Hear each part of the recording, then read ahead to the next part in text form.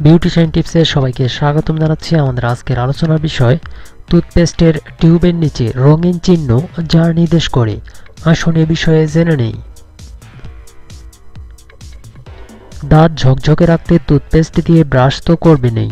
মুখের গন্ধ দূর করতেও রোজ সকালে চাই টুথপেস্ট কেননা দাঁত ও মুখ পরিষ্কার রাখার অন্যতম স্বাস্থ্যকর উপায় টুথপেস্ট দিয়ে দাঁত ব্রাশ করা। কিন্তু কখনো কি টুথপেস্টের টিউবের নিচের অংশে কিউব আকৃতির রঙিন ট্যাবের উপস্থাপিত টের পেয়েছেন?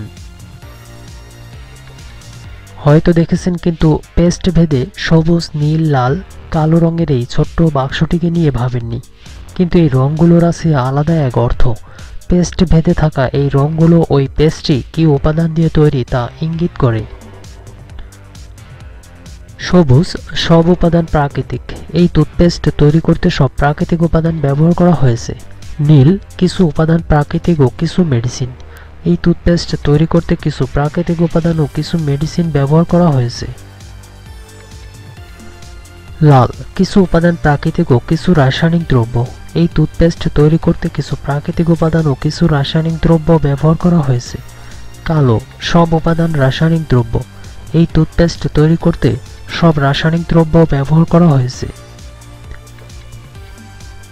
মূলত এই রং পণ্যটিকে প্যাকেটজাত করার সময় কাজে লাগে, কারণ স্ক্যানারের মাধ্যমে রং দেখে সেই অনুযায়ী ভাগ করে প্যাকেটে ভরা হয়। তবে এই রং দেখে উপকৃত হতে পারেন ক্রেতারাও। এবার আপনি সিদ্ধান্ত নিন এখন থেকে কোন রঙের টুথপেস্ট আপনি বেছে নেবেন। বিউটিশিয়ান টিপসগুলো অনুসরণ করুন এবং নিজে নিজেই এর সুফল ভোগ করুন।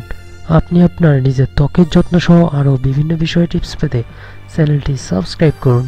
ধন্যবাদ।